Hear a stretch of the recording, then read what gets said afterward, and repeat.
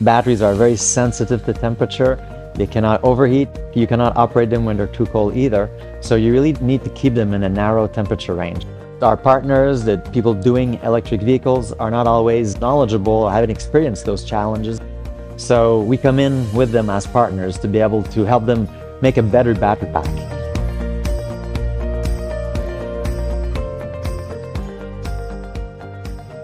The main obstacles in the general adoption of EVs, electric vehicles, are cost, safety, driving range, and longevity of the battery pack. All these are kind of related to temperature in the lithium ion battery.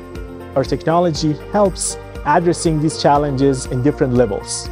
Our system allows to make safe batteries. We actually increase the lifetime and that allows actually to decrease the cost of the overall vehicle. In Canada, in cold regions, uh, our technology allows actually to save the heating energy required for the battery self-heating. Again, we have measured that 25% more driving range in winter conditions. You can charge it faster, draw more power. For the EV manufacturer, it really opens the opportunities. And for the end user, it makes it more attractive, easier to adopt. We were lucky to have support from CMC while launching the activities at the university. We did research projects with industrial partners in order to develop the core technology. CMC was a key enabler to allow us to have tools to do these studies that allowed us to go ahead and you know, develop products the market needs. So CMC actually provides this kind of intermediate step between the government who wants to help and the startup who is here, but they don't know how to talk to each other. CMC is a kind of conduit that provides that to startups. Thanks to CMC, we're able to have additional capabilities that a startup would typically not have access to.